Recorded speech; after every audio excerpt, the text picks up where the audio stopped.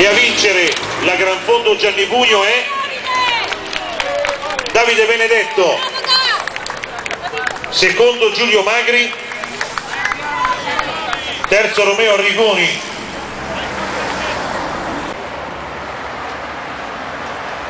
Volata e il 149 338 seguono il 10. Benedetto.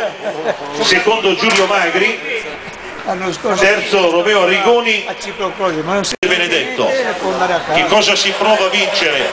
una gran fondo dedicata ai vent'anni dalla vittoria del grandissimo Gianni Bugno nel Giro d'Italia.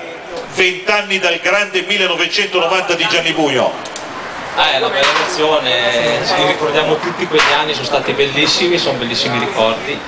E sono contento di aver vinto questa cosa perché ci tenevo anche l'anno scorso ma purtroppo non, non ero in buone condizioni. Quest'anno l'ho vinta, sono contento così.